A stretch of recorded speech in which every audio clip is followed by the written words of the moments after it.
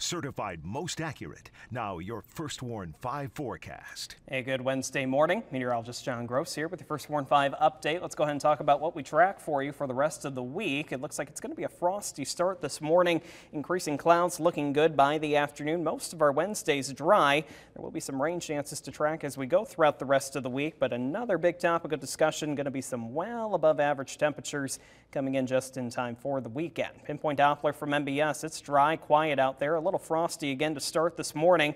We'll keep it mainly dry for most of the daytime hours today, but area of low pressure off towards the Dakotas will move our way as we get later into tonight. And that does look to bring us our next best chance for some showers once we cross midnight into early Thursday morning. Wednesday morning, here it is on the model, hour by hour. We'll keep it mainly sunny to start today. Increasing clouds looking good past lunchtime into the afternoon, but Notice we still keep it dry. We'll keep that wind right there from the southeast at about 5 to near 15 miles per hour. We could have a few early showers by the later evening, 9 near 10 o'clock, but it looks like the bulk of the activity holds off until past midnight.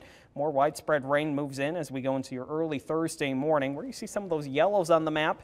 There'd be a moderate pocket of rain for here or there, but as we get closer to daybreak tomorrow, Thursday morning, most of the rain now starting to exit the region. There still could be some lingering showers the further east you go throughout the thumb. There it is right around 7, 8 o'clock, but we welcome in some drier air by the afternoon on Thursday. I think we peek into some more sunshine, especially once we cross lunchtime there into the afternoon. Now, how much rain are we talking about for tonight? Not a whole lot. It looks like we'll clock in right around about a quarter of an inch. I think some local areas could be closer to about a half an inch when it's all said and done as we get into your Thursday morning. We'll keep temperatures today mild. Looks like most of us, especially the further inland you go, near 50, if not some lower 50s, closer to the immediate lakeshore. That's going to be due to our southeast wind today.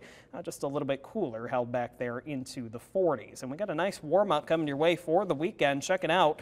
We'll still keep temperatures mild for the next five days, but Saturday and Sunday, that does look to be our warmest in the next five. I think many locations have a decent chance or at a run as we go into the weekend for us to reach the 70s. And there it is into the next seven. We'll keep it mainly dry today. Rain chances tonight, a little bit breezy as we go into tomorrow. We'll have another good rain chance. It looks like late Friday into the day on Saturday.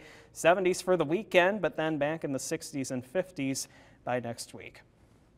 Stay with WNEM TV5 on air, on the go, and online for more news and weather updates.